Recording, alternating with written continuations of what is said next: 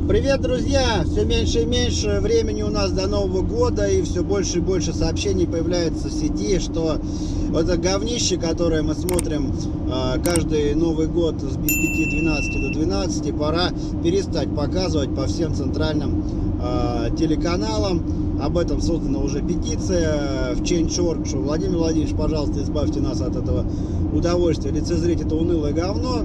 Также женщина одна из Омска вышла в одиночный пикет э, с надписью «Владимир Владимирович, прекратите э, нас поздравлять в Новый год, нам ваших подарков, о, с головой.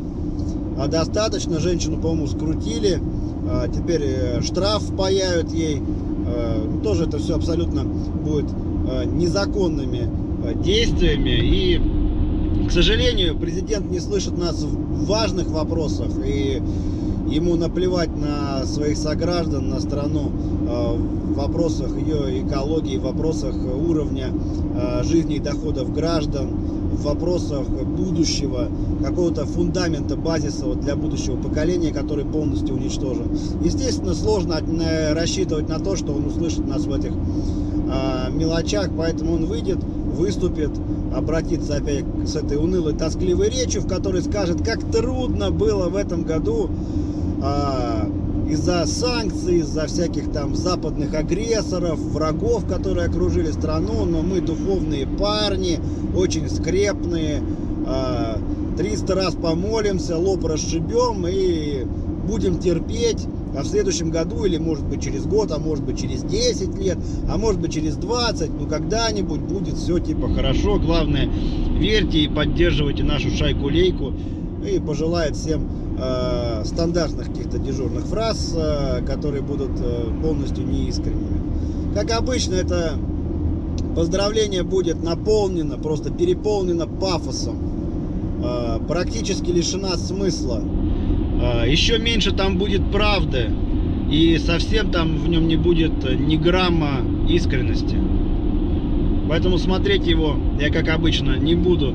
И вам не рекомендую. Потому что просмотр а, обращения президента Путина а, с 23 часов 55 минут до 0000 уже следующего года может негативно сказаться на вашем аппетите и пищеварении. Так что, чтобы изжоги не было, чтобы новогодний стол зашел как надо, выключаем телевизор э, без 5.12 и настраиваемся на позитивный лад. Всем вам хочу пожелать главное здоровья, здоровья. Э, берегите его и здоровье вашим родным и близким людям. Ну и хотя бы, чтобы материальное положение каждого из нас в следующем году как минимум не ухудшилось. Всем хороших праздников и с наступающим Новым Годом. Пока.